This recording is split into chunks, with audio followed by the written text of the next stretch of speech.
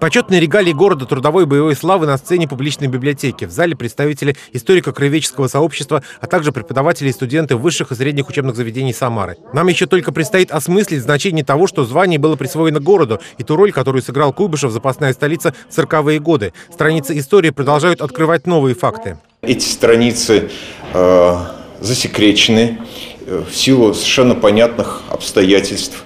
Это страницы, которые в течение долгих десятилетий оставались в архивах. И я думаю, что вот э, сегодняшний день и звание который, э, которого город был удостоен, это повод для того, чтобы мы на самом деле начали вот эту вот большую долгую работу э, осознания, какую лепту, какой вклад внесла Самара в победу в Великой Отечественной войне.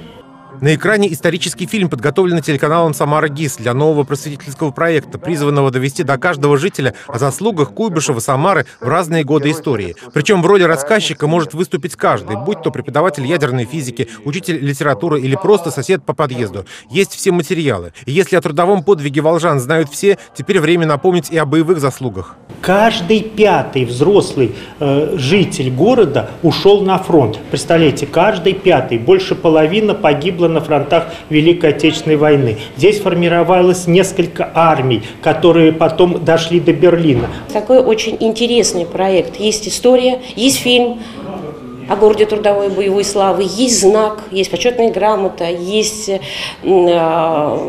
флаг э, с красивой лентой, и есть песни, которые написал Сергей Иванович Войтенко, и все это уже символы города трудовой боевой славы.